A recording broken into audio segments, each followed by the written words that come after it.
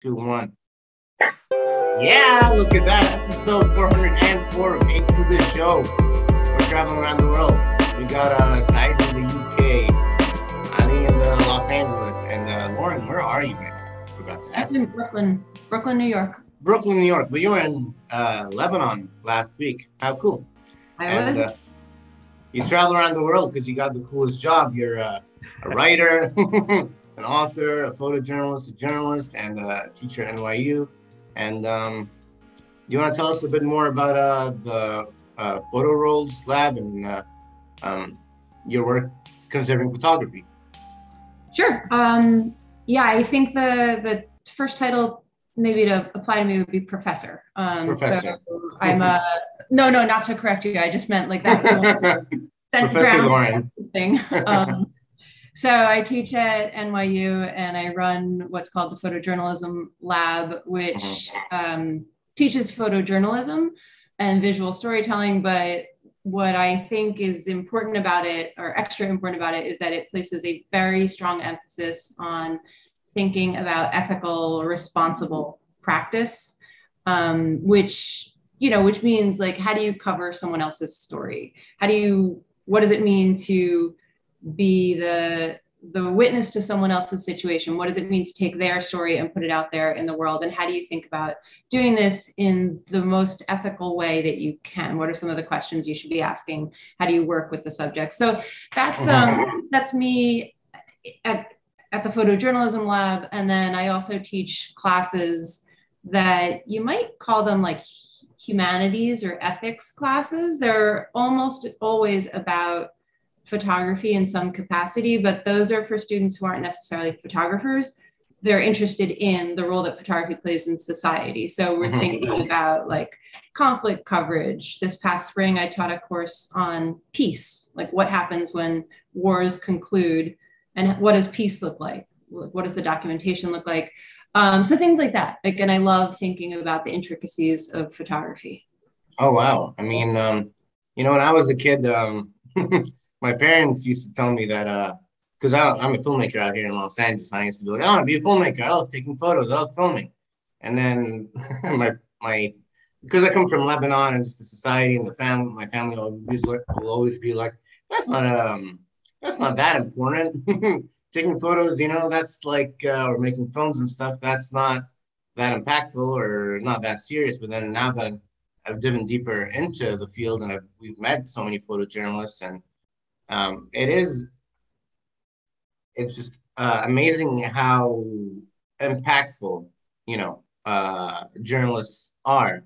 You know just a person with a camera in a location um, have like uh, can like change the whole situation can change the whole conflict. And and it's also like um, also extremely wild to me that all these you know top governments you know we've interviewed so many journalists from uh, Belarus and China and Russia and all these countries where uh, the government's trying to stop journalists, people with cameras, just ordinary people with cameras, from uh, taking photos.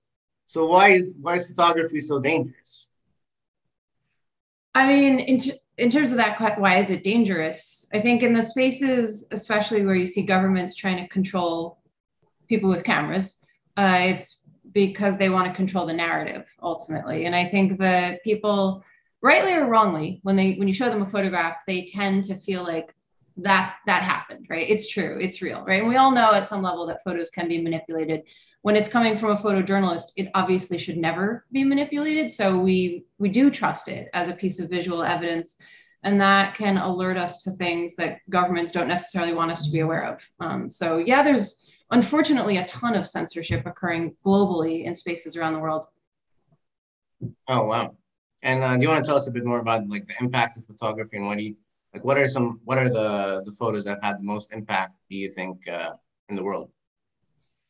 I think if we're think you know in, in broad strokes the ones that probably are the most impactful are the ones that we would call iconic right mm-hmm. the ones where kind of everyone is like, oh yeah, I know that picture. I know which one you're talking about. Um, so for instance, like it was just the 50th anniversary of that photograph from Vietnam with the mm-hmm. little running naked, right? And that mm-hmm. is considered an extremely impactful photo. Um, I mean, I think in terms of photographic impact, it kind of cuts both ways, right? Like if you said you were talking to somebody from Ukraine, um, and there's a lot of photographers working in Ukraine. And on the one hand, it's super important to create the visual evidence. On the other hand, they're they're kind of going against the stream, right? Like there is so much visual imagery out there that people will start to get fatigued by it, or they'll stop paying attention. And I think that, you know, if you if you think about how Ukraine was covered in late February and early March, mm-hmm. it was like the only headline, right? Like Ukraine, Ukraine, Ukraine, Ukraine. And then I think we did actually start to get to a moment where the public was like, all right, I've been hearing about Ukraine for a while. And right as that was happening is when photojournalists got into Bucha, where there were those executions and massacres. And I and there was a lot of visual imagery that got distributed from there. And it was like horrifying, awful, disturbing imagery. And I think that re-grabbed public attention. But I, you know, so I, I would say those were impactful because global leaders had conversations about those executions that took place in Bucha. And I think it was at that moment that the United States, maybe also the UK, committed to giving more money, mm. more weapons. So it can it can have that kind of impact. Right. And it's you know, it's wild that you have all these top leaders that um that know a lot. They have all the information about the situation. They know what's going on. But sometimes they just have to see a clip of it, you know, just like a video. You, it's one thing, you know, to have all the documents and know that this impact happened or this rocket happened. But to see a video of it crashing, um, you know, as you say, it causes people to get into action. Why is that? I mean, I think people, you know, again, like maybe a little bit has to do with that kind of fatigue level, but also just as you're saying, like numbers and statistics for the vast majority of people, they they they mean something, right? And when you hear that whatever it was like 15 people were killed in a shopping mall attack yesterday or the day before and you're like that's terrible but i think photos can hit you at a more emotional level right like if you see a survivor of a bombing and you just see them bleeding or grief stricken it's going to hit you in a different way. And i think also for the global leaders the photograph does provide some degree of evidence as well right? This is this is real this is happening. Um, so i think i think that's what the photo can do. I think words can do it sometimes but i think photos can do it more often and do it faster because it also you read in a report or an article and it takes you what however much time to read and a photo you have seen it in under a second and you can't unsee it like your eye just mm-hmm. yeah that's so true and mm-hmm. also on the on the point of like how there's you mentioned the, there's viewer fatigue um, how do photojournalists try to combat that so that you know the people who are receiving on the receiving end of these videos and these images they don't get bored of what they're seeing because like in the end that's that's what i notice people tend to uh, happens to people when the when the same narrative is always in front of their face the same headline is in their face they just get tend to get bored of it which is obviously it's a, a bit tragic to hear. Yeah i mean to some extent it, it shouldn't necessarily have to be on the photojournalist's radar to worry about how the public responds because their role is to be there as a documentarian and to take the pictures and to get the pictures to their editor and to let the editor place the pictures in whatever publication. So, on one level, I would say it shouldn't actually influence them. Um, on the other hand, it might, right? Because the reality is they're there in the thick of it and they're yep. seeing how horrific something is and they want the world to pay attention. And fatigue is a public fatigue is a pretty terrible thing. You know, I think um, a lot of photojournalists will work to humanize the story, right? Again, like what we were saying, like it's not just it's not just bodies it's people with lives and children and sons and brothers and to try to make you connect with the image, which then hopefully makes you connect with the story. I think it can go in the wrong direction if the logic becomes the public isn't paying attention, so I need to make the images more graphic or more sensational. Mm. And that's where I think you start to go down a real slippery slope because, like, how graphic are you going to get in your imagery? Yeah. And if you're talking about like major media, especially Western or American media, they don't typically run ridiculously graphic stuff. But I will say I have on social media been seeing a lot of really graphic stuff out of Ukraine. Um, you know, and I, I don't know if if that how how useful that is in the end for the public if they're just going to start to get used to and then say like, all right, I've seen that before. Then like, how far do you go? Okay. And, wow. And yeah. how do you like introduce these kind of this kind of uh, viewership viewership to the social to social media? Like, is should we maybe restrict it a bit more so that they don't become this is like the wild. What are you, what are you into censorship, Saeed? What do you mean? No, I'm not. I don't I want to restrict, but I'm just saying. I but if you, but like as we can see, obviously, social media is like the the major platform where people just get, you know, they they just ignore a topic after seeing it a few times. They become numb to the feeling, and due to the the massive amount of diff- uh, different in, like stimuli that they can they receive from because in the end in, on social media you're just like scrolling. You're going quickly through an image. You don't sit down and like watch it and then there's like an article attached to it or anything of the sort. No you're just scrolling. You look at it. Sometimes you, some people will read the caption but they won't follow in. They won't go into this like com- go into the context or like try to understand what's behind this image. They just look at it and they're like oh okay this is bad and then keep scrolling. Yeah. I think it's a real issue um I wouldn't, again, I wouldn't necessarily place the burden, and certainly not like the entirety of the burden on the photojournalist, because I think there's just as much burden on the public to become like to think about how they're consuming images and to just like you're saying right like it's really strange especially when it's a super graphic image to see it completely decontextualized. Um, and so i think you know some of the social media platforms do a decent job of putting a kind of warning before you can mm-hmm. see an image, which hopefully asks people to stop for a second and think about like what they're about to look at. Um, but I think, you know, and I'm no different from from everyone else, right? Like I scroll as well, but I do think the public also has to step up their game in terms of their media literacy um, and think, you know, so if you see something on social media, fine, maybe that's not the place where you get to the article, but then to go to a news site and to try to follow up on like what is that story? What was what's going on there? What do i need to know about this? Okay um, and what kind of recommendations would you provide hmm. if if it's the, for the general public directly or someone who's in in public office that is responsible for uh, for that you know that sphere like what kind of approach would you have in their place to kind of change this uh, the current situation we're in with the approach to social media? I mean i don't i don't know how much we can change the the fact that people will distribute whatever they want to distribute on social media. Mm-hmm. but it was interesting for me and again going back to my like professor hat it was really interesting to hear from my students this semester that the vast majority of them were learning about ukraine on tiktok. Um, and wow. so, and they say things like, I just saw a building get blown up, and then I just saw a celebrity influencer. you know, and, and, for them, they're like, this is, but that's how they were. And you know, it, it's hmm. it's it's totally strange, right? And it's not how I mm-hmm. consume my news. But when I was talking to my students, they the, what they attempted to do was kind of what I was saying. Like they're not they're they're not going to stop using TikTok, of course not.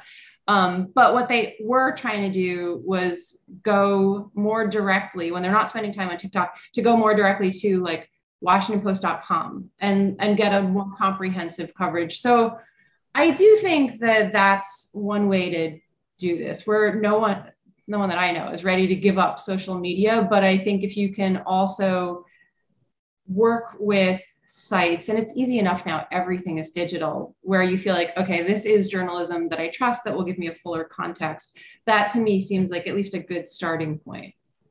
Um, do you mind me asking where do you consume your news?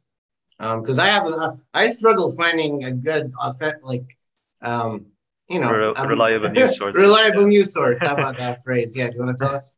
I mean i but like exactly to your point, I go through a lot of sources. Mm-hmm. Um, so I every day will be look, reading New York Times, Washington Post, Guardian, Al Jazeera. Because um, I, I also feel like the more you can kind of cross check across platforms, mm-hmm. the, the better. Because then mm-hmm. if everything is lining up, then it's then it's accurate, right? It should be accurate. If you're noticing disparities, yeah. then that's where you can also start to ask questions. Mm-hmm.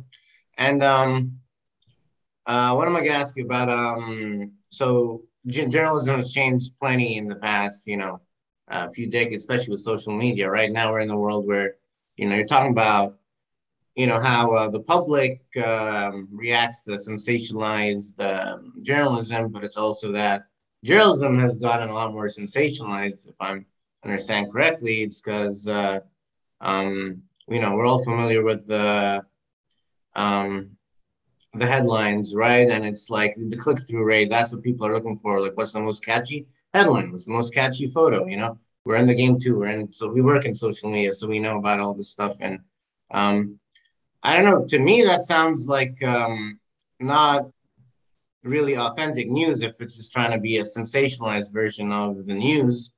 Um, and it seems a little bit like a conflict of interest if you're going into a conflict zone and you're uh, the only way uh, you can get a story, a scoop is by, um, or a scoop that like most people will click on is if it is something more graphic or more disturbing, or maybe by bending the truth a little bit. Um, so I don't know how, what, and professor, what do you think is uh, the way to, you know, combat all this? I mean, if someone is bending the truth, that's not journalism anymore, mm-hmm. right? So I I do think there are, I don't think there's any perfect media organization, but I do think there are organizations that are better than others. And yeah, for sure, you're right. Like the, there's a lot of sensationalized coverage um, in the United States and plenty of other countries. There's a lot of polarized cut, right? Like, is it, is it Fox or is it MSNBC?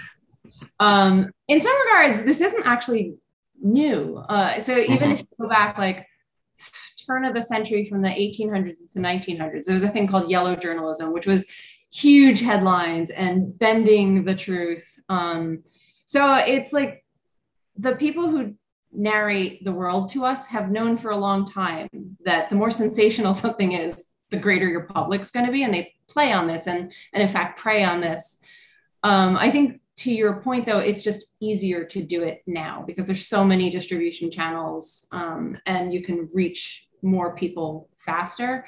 But again that there are ways to combat misinformation and disinformation. It's never going to all go away. So i tend to come back to this line of that means the public has to be more educated. And if you want to like take in your sensational news or celebrity news like it's fine as long as you're able to look at it and say yeah but this isn't necessarily the whole truth right? Like if you if it's a guilty pleasure sort of thing um go for it and then mm-hmm. also go and read the the vetted journalism i see what you mean like a more educated public would be able to discern that and be like oh this one is entertainment news this one yeah. is more serious yeah. news and, and i haven't mean mm-hmm. educated in like any kind of elitist sense like i think mm-hmm. every student in public schools should be learning like how do i consume information because at some point every single one of them is going to land on social media and information is going to be thrown at them. So this is basically just giving them kind of necessary skills to move in the world.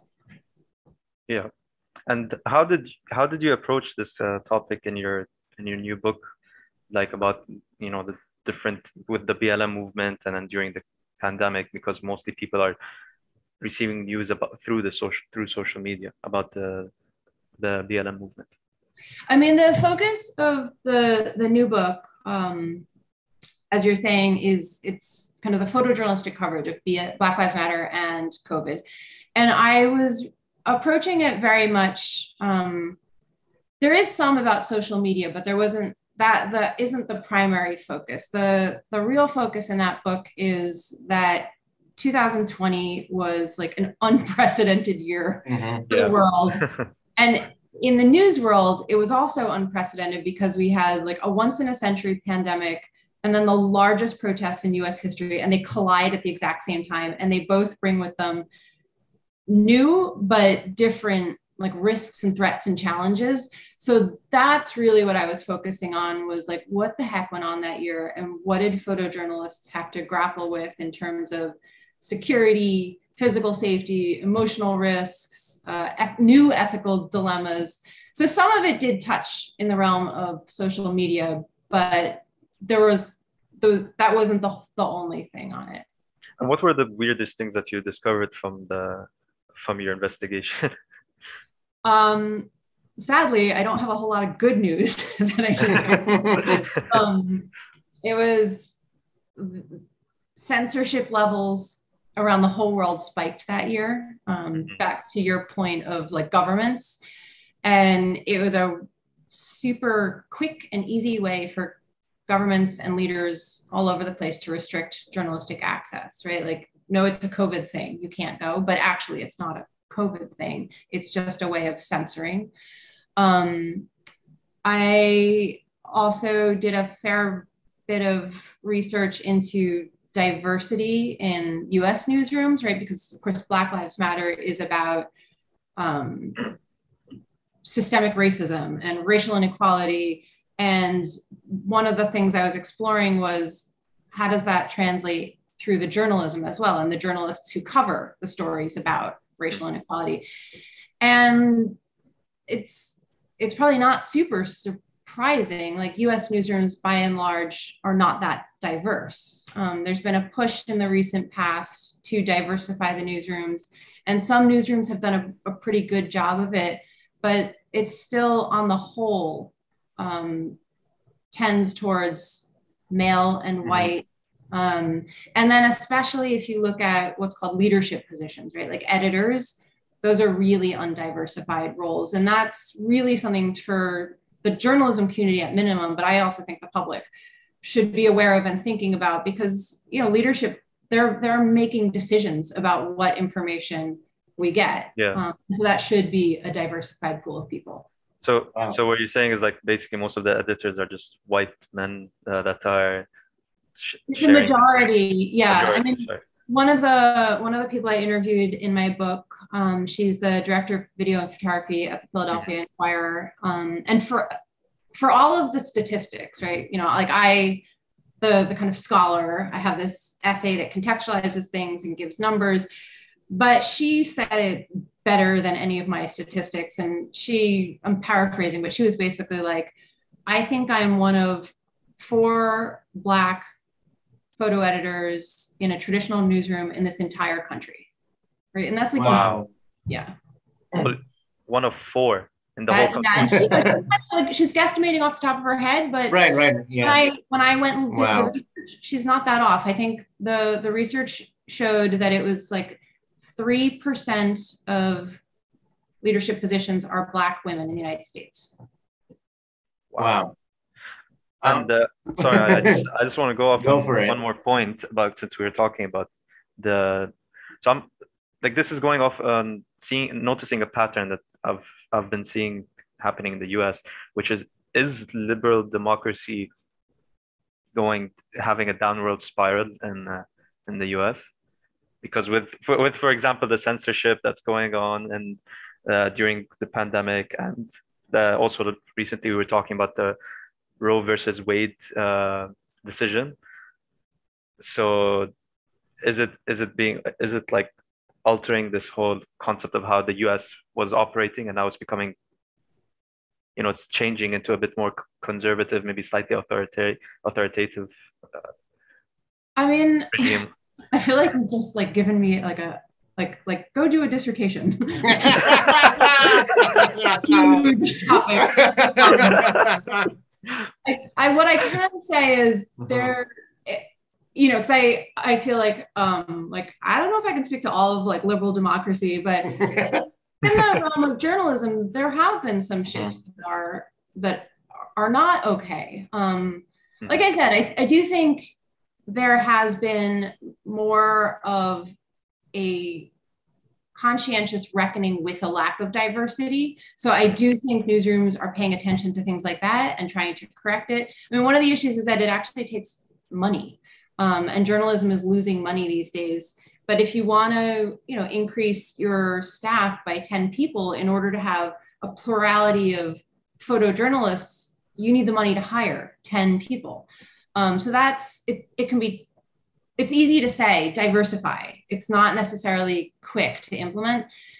But yeah, in terms of some of the other things that are going on in journalism, I do think it's it's concerning. Um, and some of it is, you know, we we are now done with the Trump administration, but he really went out of his way to attack journalism. And I mm-hmm. yeah, not the only president, he's not the first president, but I do think he had essentially like a megaphone um, in front of his mouth. And his comments about journalists being the enemy of the people, you know, he says it here in the United States and it reverberated around the world. And I think it not only had consequences for the US, but emboldened leaders all over the place.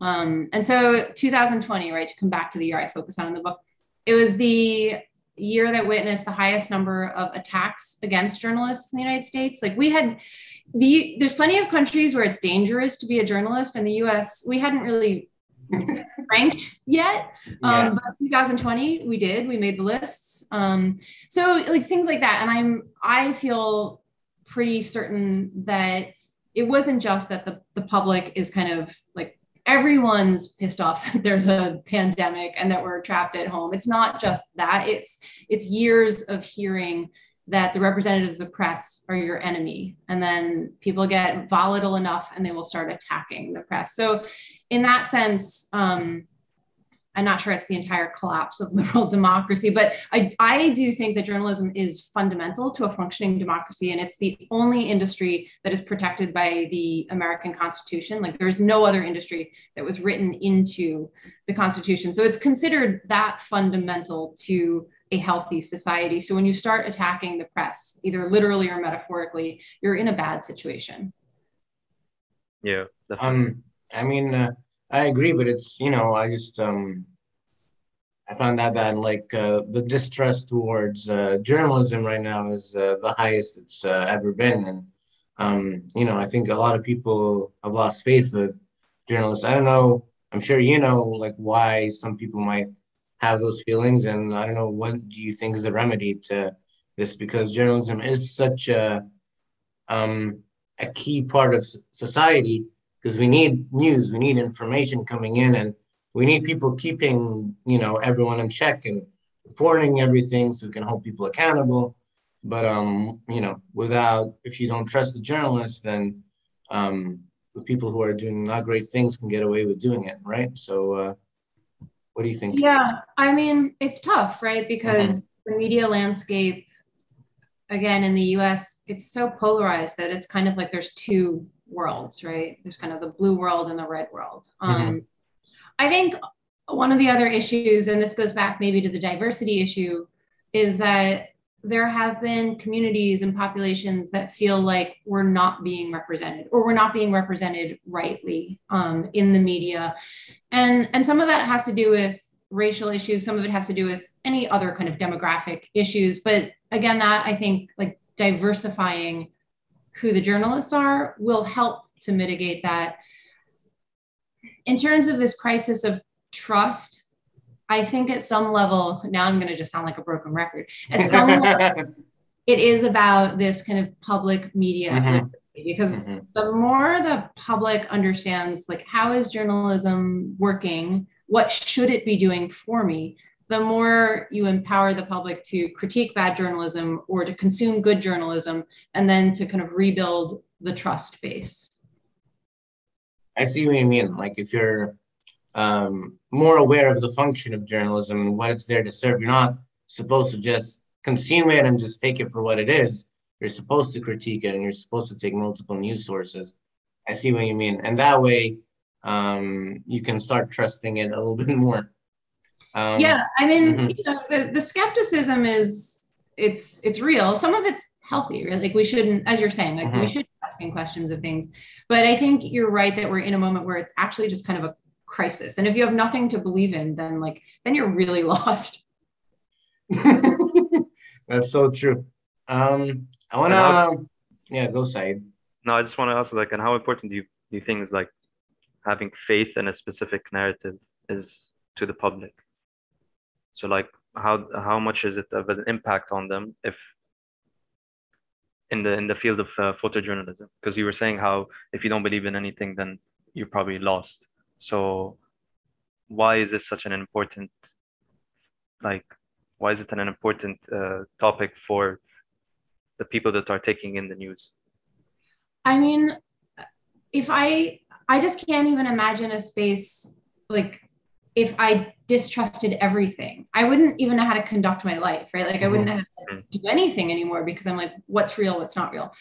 I think everyone, um, I think now we're now we're pretending I'm a sociologist, which I'm not. Every, you know, everyone has their belief systems, right? And they yeah. have the narrative mm-hmm. they um, feel more strongly about, or the sources or the people that they trust more than others. And that to me just seems sort of normal human nature. It's just how we we work. Um, so I'm I'm just always advocating for a greater critical awareness of, um, particularly when it comes to news information and news information that will affect your life or other people's lives. But wouldn't people that are fixed, like they have the strong belief towards one context, just make them a bit delusional or like ignorant to the to the general the general discussion of what and the discourse of the topic that the of the information they receive. Because if if they're just like focused on one cause how how will we how will they be a bit more skeptical or open-minded to listening to both ends of the story and then having the more clear image of what actually is happening I mean, if if we're talking about someone who's so completely inside like a bubble, right, and they only get information that supports that bubble, it, it's probably really hard to reach that person in terms of kind of greater civic discourse of multiple voices. Um, but you know, and again, I, I don't, I haven't researched this particular topic, so maybe what I'm saying is not 100% accurate. I would expect that would be behavior more likely to be found in someone older who is more cemented in their ways and their thinking and less likely to change a mindset or to yeah. change their behaviors in terms of how they receive information. And i i would hope like i mean this is how i feel about my students that you're more likely to have an open-mindedness if you can teach people when they're young. Right. So true. You're so right about that Lauren. Um, what am I um, gonna say about how do you teach people to become journalists, right? So we have this issue you said about diversity in journalism. You don't have enough diverse people, um, and so let's uh, help these people become journalists, right? So what are the steps you got to take in order to become a, um, you know, a conflict journalist, but just a journalist?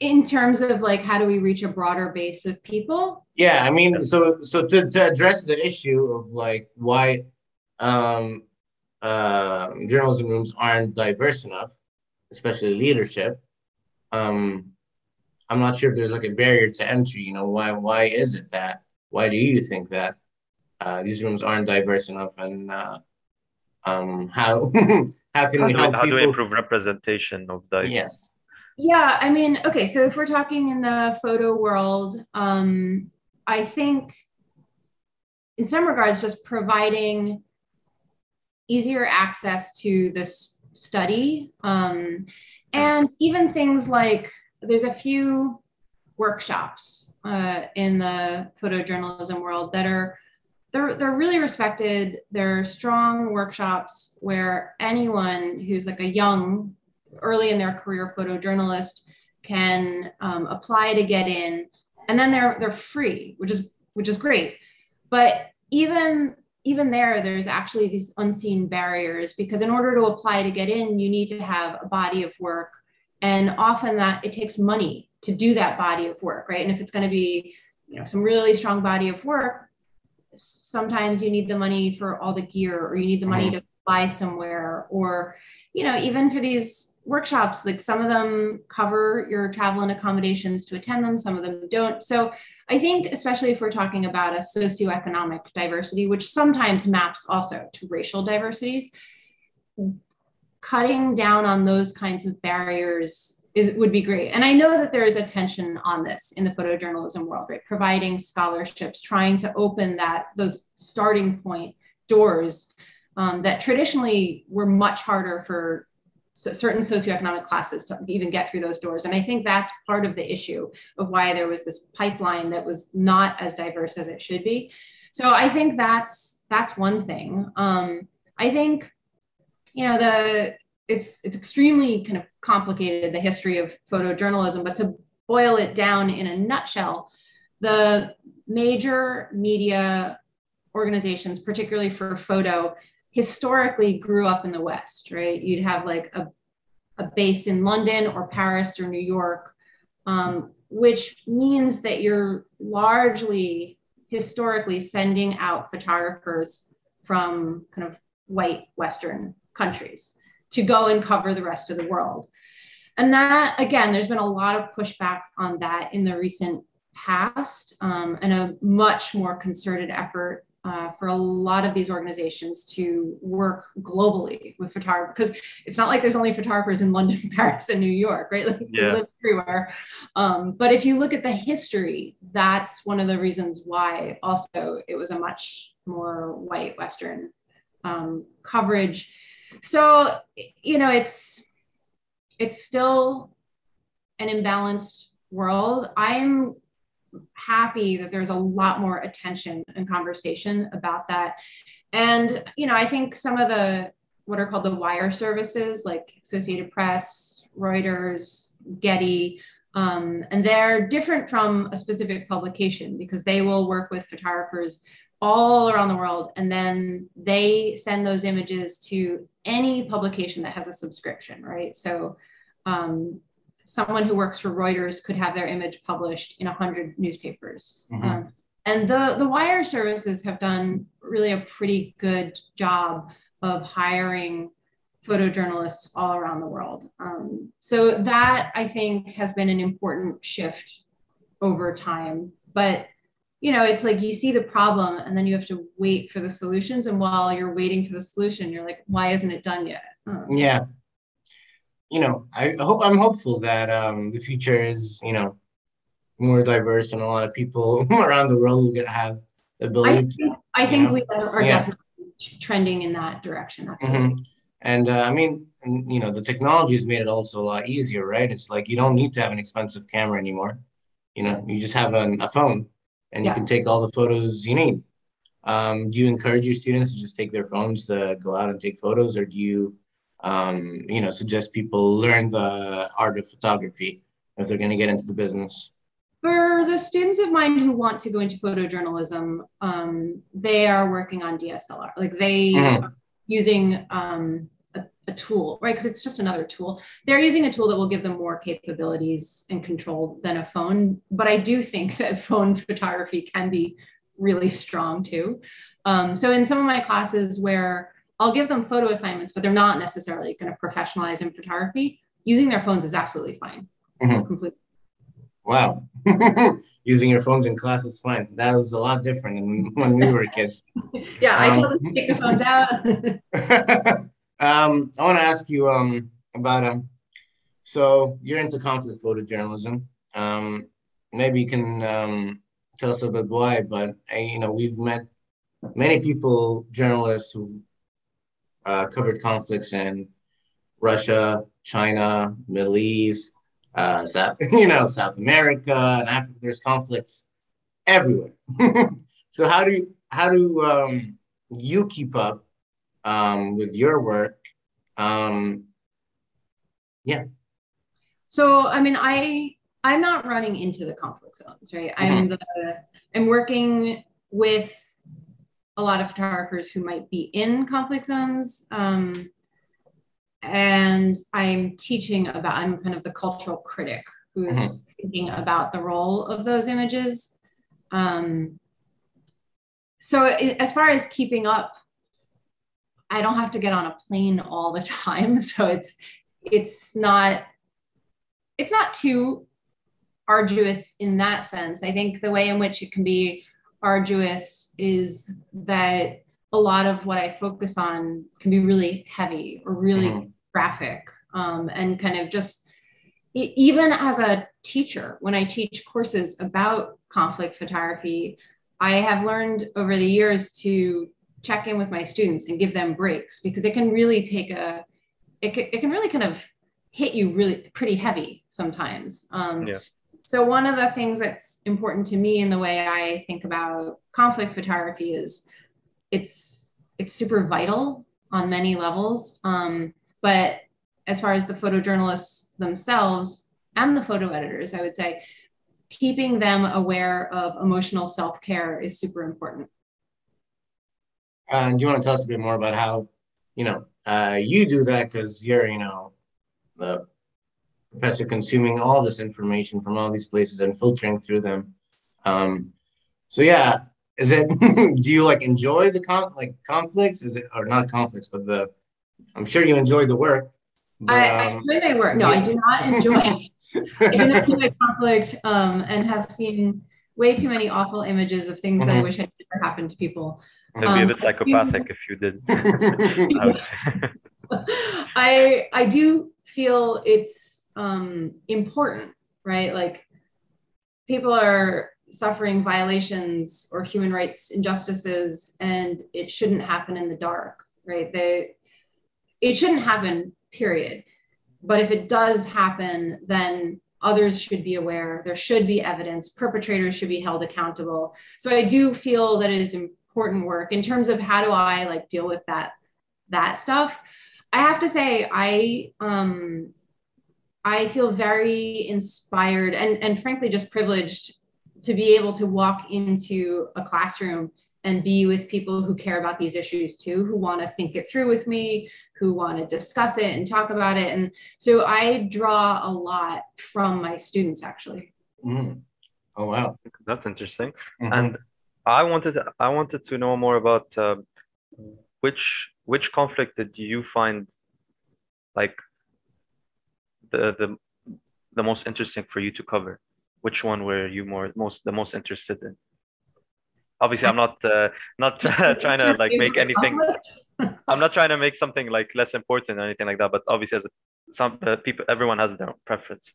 Like for um, us, it would be our own country. Right. Okay. I see. I don't. I actually don't know that I I can prioritize a, a I think it's more that I have more knowledge of certain conflicts than others. So I feel more equipped to talk about them um, mm-hmm. more than others. But I don't, I don't think I could say like, I prefer this one to that one. Um, I mean, even just, you know, the new book is about COVID and Black Lives Matter. Um, and the Black Lives Matter movement started here. And COVID, of course, was part of everybody's life. But I don't feel like those are my favorites, even though I I'm right here with them. Um, it's yeah, it's I think I can't I can't say. okay, then let me let me change it a bit and ask like what is what is a conflict that you would like to and like learn more about? Maybe that would be a bit uh, easier to answer. Um, it's not easier to answer. It's not. okay. no, I mean mostly just because I think especially if it is a place I've never been to before, it's not just learning about a conflict, it becomes learning a, a history and a culture. Um, and I, I find that just fascinating. Like, I, I love learning histories. Um, so, I like the cultural critic in me is drawn, I guess, drawn towards conflicts that are occurring now because I work in journalism and journalism is about news that is happening now as opposed to conflicts that happened 100 years ago. Mm-hmm. But also, I would say, because in terms of how photojournalists work and the safety and security issues they face, they're constantly changing and updating. So I'm very interested in learning about that. Like it's it's so important now for someone heading into certain kinds of hostile environments to understand digital security, which isn't a thing that you really had to do you know a few decades ago. But now it needs to be like standard practice for certain journalists going into certain spaces. So like those sorts of things interest me. So more of a futuristic uh, mind like uh, viewpoint because we've actually we've actually talked about this a few times on the podcast about for example ai and like what's the future for ai so how what do you think the ai's influence has on the photojournalism and the future of it? Because i feel like there's it's ai is going to be in every in every field. It's going to influence every field. Some way somehow it's going to be there. And now that you're saying that obviously photojournalism has like digital security to worry about how do you think ai can get involved in that? I mean I, when i was saying digital security i was even thinking in terms of their own personal safety um, because yeah. how can you leave a digital trace you're trackable. Um, and if, if if bad actors want to go after you and track you like you need to be very careful about that. In terms of the ai question um, yeah i mean we're we're like walking into a landscape where the public can't tell the difference between deep fakes and actual photographs. It, it's I don't know. I mean, it's it's a new terrain. Um, there is an initiative called the Content Authenticity Initiative um, that is kind of overseen by Adobe, but it's really a consortium of a lot of media companies, tech companies, and its aim is to be a global standard that helps to ensure the provenance. Um, basically, helps you to verify the actuality of a photograph. Uh, so I do think that that is one step forward in this crazy landscape of fake visuals and mm-hmm. disinformation um, to have a tool to be able to say, wait, let me check the authenticity of this image. Is it really what it claims to be?